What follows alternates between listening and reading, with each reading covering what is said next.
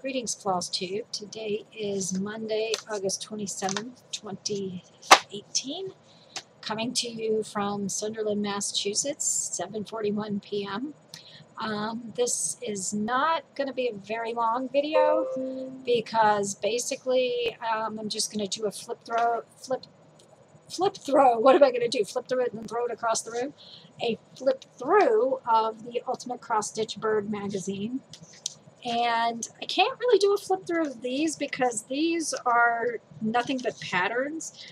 But I don't know how many of you actually received the DMC newsletter, but I do. And um, occasionally I see something that catches my eye. And they had a set of six reproductions of the original collaboration between Therese Delmont and the DMC family the DMC company, um, of patterns created in the 1800s. These are all nothing but patterns. It was six six books for uh, $40. They have a lot of alphabets in them, which is great. A lot of borders, a lot of simple motifs, um, a lot of little small pieces. Um, I thought I could at least read to you the history of DMC. And it's all written in French. Of course, there is an English translation. There's also a German and Italian translation as well as the French. But um, I'm not going to subject you to my god-awful French accent. Okay, so basically in 1746 in the uh, the city of Mulhouse, which was at that point in part of Switzerland, um, there was a man named Jean-Henri Dollfus, and he created a fabric company that reproduced calico um, fabrics, which were very big at the time. Um, and he produced some of the most respected uh, hand-painted cloths in Europe. Um, there were definitely like the rage as far as fashion went, um, hand-painted cloth, calico patterns, things like that. And his nephew, Daniel, or Danielle, I suppose, um, eventually took over the company and added his wife's name to it, and it became Dollfus Mieg et Compagnie, uh, DMC. And at that point, they went from just making fabric into um, making the calico fabrics into just spinning regular cotton and doing weaving. Um, so then after that, his descendants, as he passed down the company, as the company passed down through the family, um, added sewing and embroidery threads to the calico hand-painted fabrics and the spun cotton fabrics that they were already making. And so by 1841, they had gotten into the um, embroidery threads. And so eventually that became such a big part of the DMC company that that spun off into its own thing. It was all the fabrics and threads until 1879 and then the um, company branched off and just became DMC Threads. Um, and at this particular time, um, one of the descendants of Jean Henri met a woman named Teresa de Delmont, who was Viennese, and um, she decided that she was going to settle in France. So she ended up in Alsace, which anybody who knows anything about French geography knows that's the, the region of France next to Germany. Um, she created an embroidery school. And as such, she created all these little patterns to teach her students with. And eventually she began collaborating. She um, created, she wrote an encyclopedia of fancy work that was published in 1886 when she was uh, not even quite 30 years old, her embroidery encyclopedia was published. And um, eventually she did the collaborative work with DMC where she created patterns for them. They would put them in booklets and sell them for her with their threads and she and part of what she got out of it was you know she had her, her patterns sold and made money that way and what they got out of the collaboration was she recommended to only use DMC thread when you stitched her patterns. Um, so they did these collaborations and um, another book that she that she had a lot of success with she created the embroiderer's alphabet. Um,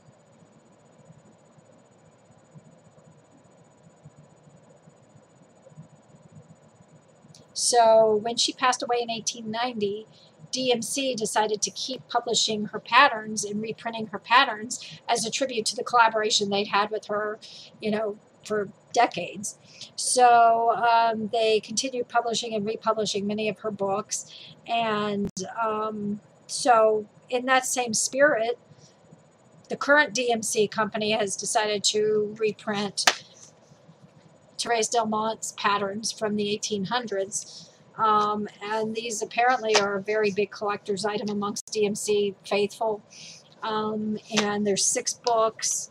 There, like I said, there's a lot of little motifs. There's definitely a lot of alphabets, which was the reason why I wanted these because I don't have any alphabet patterns. Um, and I was thinking about it because I'm doing a tribute to Coach Gorham. Um, let me know in the comments below if I've mentioned that, and if not, I will talk to you about that in my next FlosTube video. But I wanted to put in Loving Memory Paul Gorham 1960 to 2018 on there. And um, I don't have any alphabet books. So now I have six of them, and they have a lot of different alphabets, which would be appropriate for all kinds of pieces, all kinds of personalization. Um, there's definite, there's some black work. There's a really cool black work here with bees, which now that, you know, the plights of bumblebees is kind of in the social consciousness. That makes those patterns really cool. Um, you know, different motifs, uh, different borders. That looks like there's one of dragonflies here. Um, this one seems to be a, a book that's nothing but like nature. So there's some koi and some fish. Um, so, you know, a lot of little motifs. If you're just looking for something really different, like this one's got birds in it. And uh, a, oh my gosh. It's got a fox. Can I just show this real quick for Danielle? Because I know she'll squeal when she sees it look at that fox right there on the well the left of the left to you but the right the right or the left the right in the book but the left to you. Look at that. So that's the kind of thing these books have. Go ahead and sue me DMC I don't got any money. You won't get anything from me if you do. But um, this one's apparently nature and there's a couple of cool roosters in here and a turkey, things like that. So, you know, I could see some of these patterns being nice for like fingertip towels if you were going to make things, or if you wanted to monogram fingertip towels, there's plenty of alphabets. Um, so these are really cool. Like I said, it's six of the original reprints of this is her original um, embroidery patterns. Um, kind of a very cool collector's item. And I think I have, I think I'm going to have a lot of use for some of even the little motifs. Um, so yeah, this was definitely worth 40 bucks for, you know, a part of DMC history. I mean, I think there's that too, you know, DMC collaborated with Therese Delmont and um, she was actually a very successful embroiderer and publisher. So you know, I can't really show you anything out of these, but they're definitely worth it if you're interested in a, a historical piece of DMC. Um, you know, I've only recently got it, gotten started in using specialty threads. DMC has been my go-to for pretty much most of the 25 years I've been stitching. So, um, and plus, I studied French in high school and college and I guess I, I knew it well enough on our 10th anniversary to be able to speak it passably enough in Montreal when we went on vacation that I had, well, I think she was trying to be polite, but I had one woman offering us the residential rate at the um, Olympic Stadium there when we were going to go do the touristy thing because she thought I was a resident. Trust me, if you heard me speak French, you would know I was not Canadian. you would know that I'm a Southern American trying to speak French with the Southern American accent. So, but anyway, those books are really cool. I like the history. I like the fact that they started making calico fabric and then they got into weaving cotton fabric and then they got into the threads and then the threads became so big that became a separate part of the company and then they met this really famous embroiderer and she published she um, they published her embroidery uh, patterns in exchange for a don't stitch these with anything other than DMC endorsement. So um, thought that was cool, but can't show you too much of those because they're all they're nothing but patterns. Um, so anyway, the real reason I'm doing this flip through, where I can actually do a flip through, is I recently was at Barnes & Noble and I came across this. Now, anybody who's watched a floss tube video of mine before knows I'm an avid bird watcher. So you're going to combine cross stitch with birds, I picked it up, flipped through it, and there are a lot of really cool things in here. And I double checked with Danielle because I wanted to make sure she was not she was not going to do a flip through this, but she doesn't get ultimate cross stitch, so I figured I'd take a page from her book and show you some of these. Uh, the first cross stitch set we have here is by Leslie Teare and it's called Birds of Beauty and it's a coaster bookmark and it looks like a journal cover but you could just stitch it as a regular like frameable piece. It's these peacocks. Aren't those cool? My mother says that when I was like a toddler, we lived in an apartment next door to a farm that had a peacock. And I swear I don't remember that. I was too young to remember that, but she said they were loud. That they were actually quite obnoxious birds. Then Leslie Teare also designed this majestic peacock, which, if I could be convinced that my eyes could survive fabric this dark, this would be really pretty. Although I think I might do it like, I think you'd almost have to do it on something dark because to make the colors stand out and to make it look as striking as it is. Is that not beautiful? And then it also uses beads. All those little dots are beads. And I've been wanting to make something for my acupuncturist, uh, just for all the help she's given me over the years. And I do have a crane, like an oriental crane. And since acupuncture is basically Chinese medicine, I was thinking maybe doing that one. But I don't know. This peacock's kind of nice for that, too. And I like that it uses the gold beads. I just don't know. Now, this was one of the patterns that sold me on this magazine. This is Sharon Wasseleff, Paisley Peacock. Is that not gorgeous? I love those colors. It is so, and, and it speaks to me because I like stitching, well, you wouldn't exactly call Paisley geometric, but I like stitching those little kinds of shaped motifs, if that makes sense. So that is beautiful. I That was one of the ones that sold me on this magazine. I could totally see myself stitching that, although I would probably use a hand-dyed fabric. Oh, and yes, I did get a manicure. I remember in one other floss tube video, I think I mentioned that I chew my nails.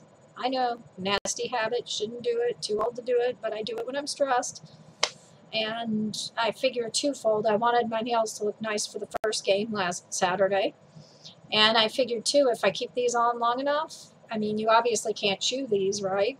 So if I just break myself of the habit of being stressed out and put my fingers in my mouth, maybe when I have them taken off, it'll stick, you know, kind of like a cold turkey thing. But these are, it's really cool. I can't remember the, it's, I can't remember the brand of nail polish they used, and you'll never be well maybe you can kind of see see how it's kind of got like that I don't know if you can see how it's got that stripe in it where like when the light hits it it looks like it's got a stripe. It's called cat eye nail polish and they have like the brand of nail polish this is has like 20 different colors. You can get anything from like blue to green to dark red. And this was like the closest I could find to our school colors. And it's called cat eye because it's basically well, you know how a cat eye gemstone looks with like the stripes through it. But it's basically a magnetic nail polish. And what they do is when they put the nail polish on, when it's still wet, they hold a magnet over it, and then some of the particles move to give the, the lighter color of the stripe. I actually think around the holidays, there's a the real pretty like dark green version of this I might get. But hopefully by the holidays, I will not be chewing my nails anymore, and I can have my own my own uh, manicure painted. But it's a means to an end. I wanted nice looking nails. I don't have them as of yet. So, yes, but I do have a manicure. Um, the next pattern is by Susan Bates. It's called Regal Kingfisher. This is not my favorite pattern in the magazine, but it would be nice if you know someone who is into collecting china or if they just like kingfishers. Not my favorite pattern. Now this next one is beautiful. I love this. And I'm not sure what it is about this that speaks to me. It's by Maria Diaz and it's called Springtime. And it's just a little bird perched up here on cherry blossoms. But I think it's just so delicate. And I think I like the fact it's a round, you know, it's got the round, like the little bit of the sky. And the, the cherry blossoms are really delicate too. I like that finish as a pillow, but that's not something I would ever accomplish. Because I need a sewing machine like I need another hole in the head. Because if I get a sewing machine, I'm going to want to learn how to quilt and do all this other stuff, and I don't need another hobby. The one I've, the ones I've got are driving me crazy enough. So that one was kind of pretty. Then there's this one. This one is another Leslie Teare. It's a clock. It's called Time. Uh, what is it called? Time to Stitch. And it's got little birds focus. Focus. Focus. Nah. I need a better webcam, I think, is my thing. I may have to do that if I'm going to keep making these videos. Um, so then this is Woodland Birds, designed by Deborah Page, and they're little greeting cards. And actually, I don't know if I would stitch any of these, but they're kind of, there's cards in here later on that I like better, but um, just some different, so there's that. I like the idea of stitching gift cards, but I don't, I don't know that I like those. Now this I really like. This is called Flutter and Fly by Fiona Baker. You could do these together as it's shown here, or you could do them separately. You could probably make them as greeting cards. I like the cages. Although I don't like the idea of caging birds because it seems cruel that creatures that are supposed to fly would be in cages, but I really don't like the idea of bird cages. Which is the only reason why I would never have a pet bird. I would love to have a pet bird of some kind, but it just seems cruel. Their nature is to fly, and you're sticking them in a cage. I don't know. I don't know. I love parakeets and birds, you know, like tame birds, but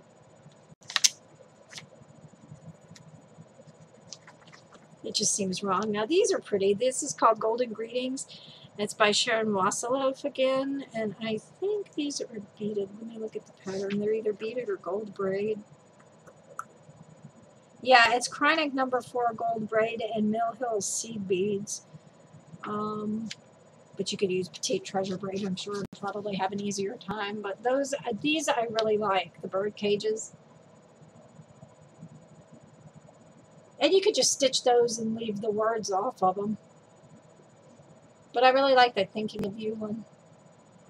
Because I've noticed that when you go to buy cards, there are like, and you go even into a stationery store, it's all thank you notes and invitations and whatever happened to just a blank Thinking of You card.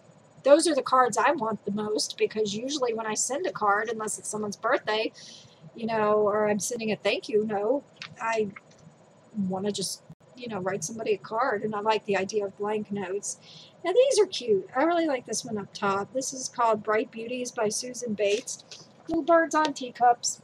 I really like this one, a blue and green bird. Although I like the little cockatoo on the... I don't know, that's an interesting combination, birds and teacups.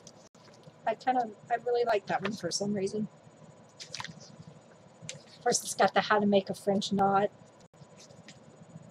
Uh, there's Love is in the Air, but it's mostly a pattern page.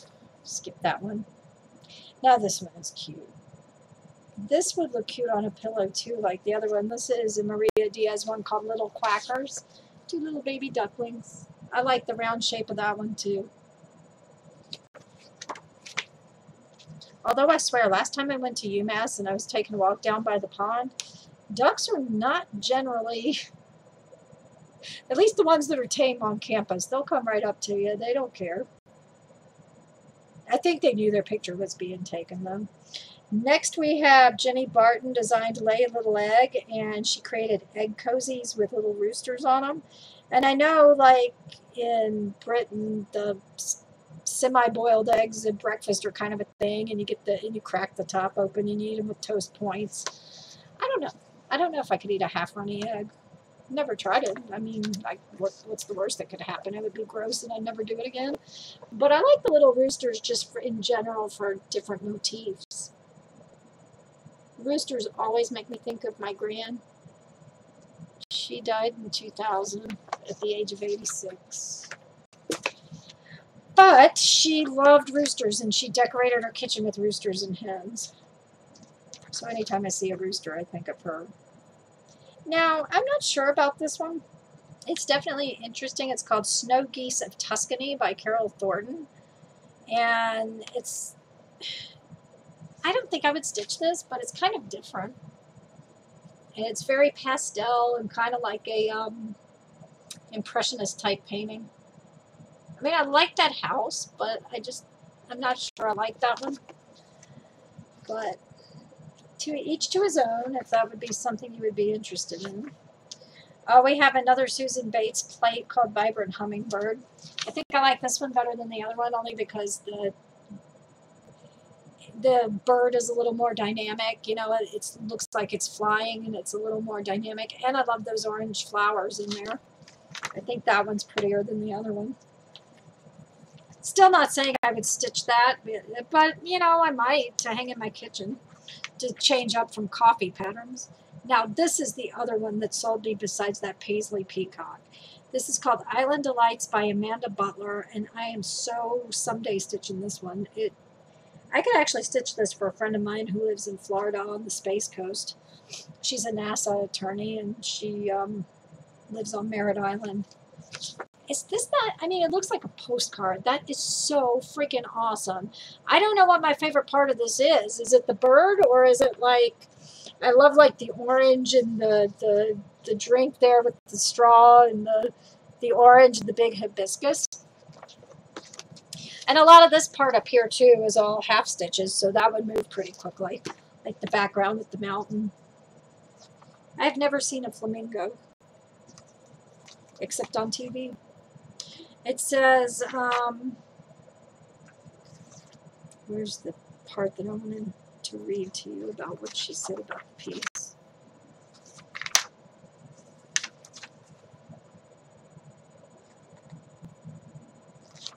I love that though. I love how it looks like a postcard. Oh, it says, um, We love the details in the foreground of this design. The cocktail, orange, and plants all create the feel of a tropical paradise. Each of those elements has been defined using backstitch in different colors, while the background remains backstitch free. This is so the ocean, overhanging trees, and the mountain backdrop blend together to give the picture perspective. So I love that. That is awesome. Oh, and we got Doreen Jones. Of course, those of you who watch Danielle's patterns know she's quite the animal stitcher. I absolutely adore this one. It's called Flight of Fancy. I love the one in the middle here, the, the parakeets. I even like the little lovebirds. Is that not, that's not just so cute. And I love the colors in that. Green and blue. They're actually technically budgies, but I don't know. Are budgies what British people call parakeets? Or are they a completely different bird altogether? I'm not sure about that. We have another Doreen Jones set of greeting cards called Birds of Paradise. I'm not sure. The colors are a little weird, but you could always... I think if I was going to stitch one, I would stitch that because I love that black, the uh, yellow and orange on that black fabric, but I don't know. I'm not sure about those. And then, let me see. Oh, I really like this piece again, like the other one with the cherry blossoms. This is Susan Bates' Feathered Friends. And I think what really makes that pop is the uh, fabric. It's kind of a pale green. And I would probably use Picture This Plus Serene, um, which is a nice pale green. But look at that. And I love how delicately it's framed. It's just like three friends hanging out, shooting the breeze. I love the colors, especially the blue one. I really like that. I would totally stitch that. So you can see why I was obsessed with flowers, I mean with birds as I am, that I would. Um, the alphabet is by Jenny Barton and it's called Tropical Twist. And I'll show you the one little brief picture. It's basically like parrots and things like that. Um, different birds, mostly like tropical birds. Then Lucy Heaton designed Pelican and Friends. but that's nothing but pattern, so I can't show you that. Oh, these guys, let me see if I can show you this without showing you the pattern. It's Cozy Owls by Jane Schofield. Those are so cute. I always think of my goddaughter and her family because her dad loves owls. Aren't they cute? I love that one that has the scarf and it's like. I don't think I look that cute in the wintertime. I wish I could. And then there's another little three, the three owls. Like I would make fingertip towels for Dan and Diane with the little three owls on it. Those are so cute. I love those. I would totally stitch any of those. Now these are cards I would totally stitch and I've actually decided that if I do stitch them, I might do the black work with some of my um, variegated thread because that would look cool too. But look at these. Now these are by Leslie Teare and it's called Blackwork Beauties. I love every single one of these. I don't have any trepidation about saying I would stitch those like I do some of the other cards. I love that tulip. That I think the tulip would be the first one I would stitch. But I like all those. It's cheerful. And I like black work because it doesn't take quite as long as cross stitch. I mean, I know people say, oh, it's just backstitch. I hate backstitch. But, you know. And then Doreen Jones created some little motifs called Up in the Sky. And let me see if I can show you that. Just some little teeny things you could use to decorate all manner of stuff. I love that little bird that's like, oh boy, that's the way I look before coffee. And then a birthday card that says, hope your day is a hoot, and of course it's now. And I like this little one here, this little bird with the music notes. And I really like, I mean, this is a solidly stitched background, but I really like this little doobly bopper here with the background with the yellow with the flowers.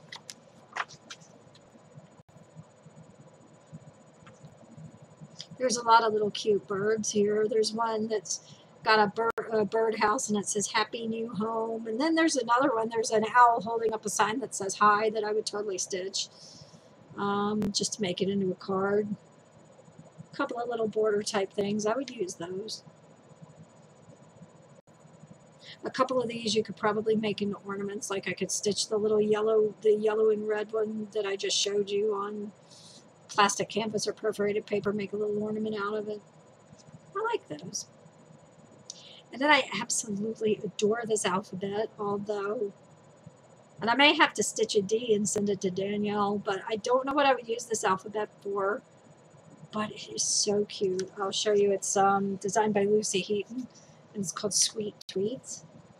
And see how they've got, it's got like bird houses and flowers and birds. I would totally use that alphabet. I just don't know what for. But I guess that's half the fun of cross stitch is figuring out things. I might have to stitch the D for Danielle because it's cool.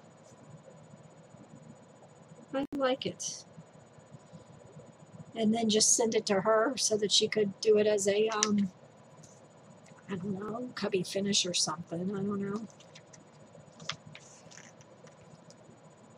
Oh, that's cool. One of the ideas says, why not use the birdhouse alphabet to stitch a pretty sign for the garden or a, a garden shed and gift it to a king gardener?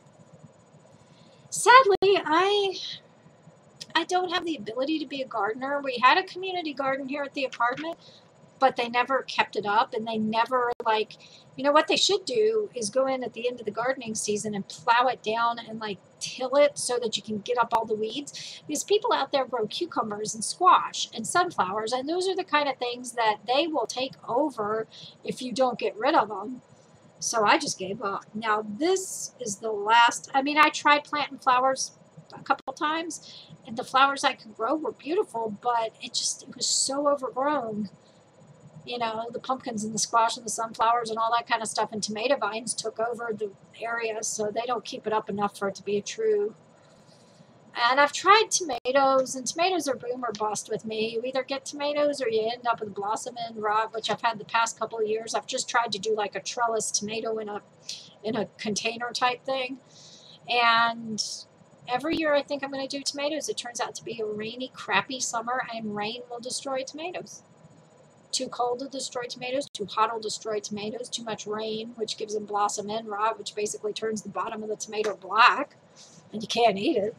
So I've just about given up on gardening until I have a home of my own, but that is a cute idea for those.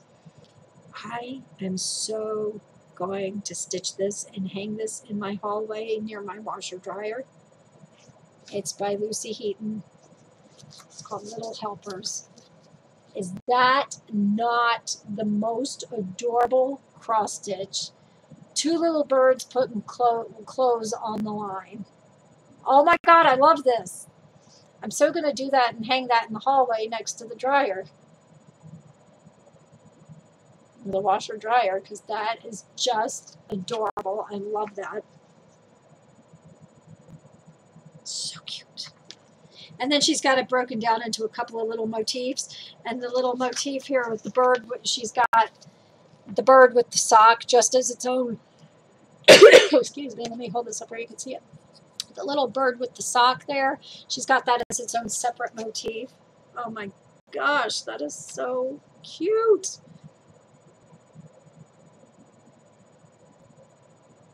I like what, what uh, the editor of the magazine said. Stitching is the one time when we get to really unwind and relax and completely forget about any housework. Lucy's design, Lucy's laundry design is the perfect design to put your feet up with as you stitch happily away.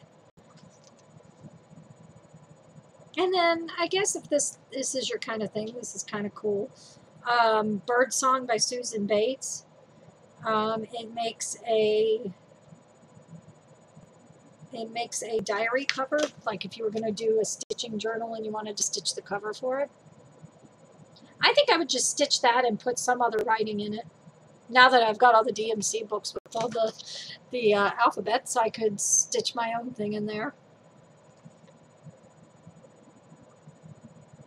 Now these are stinking awesome. Um, these are by Doreen Jones, birthday cards. I would stitch any of these and just take the age out. They're like milestone cards, but you could take the age out and just stitch the, the card. Look at these. That is freaking awesome. Look at those colors. I mean, who wouldn't want to get something that cheerful? I actually like the 100-year-old card. But you could take the ages out and just stitch the cards. Those are so colorful. I love their tails. Yeah, I would stitch any one of those and just leave the age off of it. Or, you know, if it was a milestone birthday. Those are so cool. I like it when the charting editor says, minus the ages, these cards would work well as thank you cards. Yeah, you could use them for anything, even a thinking of you card. And then we have, now these are so adorable, more cards by Doreen Jones again called Winter Wonderland. I would just stitch these as ornaments, honestly. Birdhouses in the wintertime. And if I had enough time and energy and actual life to do it, I would stitch these as Christmas cards, but not happening. You're going to get a boxed Christmas card from me if you get one, and that's about all you're going to get out of me this year. But I love those. I would totally stitch those. Doreen said, I love birdhouses. I love little birdhouses, so I thought I'd create individual designs perfect for cards. I added snow, pretty lights, and baubles to give them a winter wonderland feel. And then Doreen Jones uh, designed two little, let me see if I can do this without showing you the pattern there. Put my hand over the pattern, but budgie buddies. Are somebody please tell me, are budgies parakeets? Is that just what British folks call them? Because they look an awful lot like parakeets to me, but I don't know if... And then, of course, you have, you know, your how to stitch and all that if you need to cross stitch. But there's a lot in here I would stitch. A few things I wouldn't, but for the most part, there's 200 charts for 9 pounds, which is what, like $11? So I would totally stitch those. Um, so hope this is something you're interested in. Like I said, it's birds, it's cross stitch, so you know I'm there. Um, and I'm looking forward to delving into some of the um, motifs and things in these books and using the alphabets for certain things. And when I do, of course, you know that I will show you on my Instagram account as well as here on my YouTube channel. Um, that is really all I have to share. So until next time, I wish you happy stitching and a happy life. And I'm not sure when I'll be back because I'm going to be out of town for Labor Day weekend because I'm going to Boston to the Boston College game. Um, but then week after this coming weekend, Bill will be out of town, so maybe I can get a video made then and show some progress. Um, but as it is, I've talked your ear off for a half an hour, and so I sign off here. See you soon.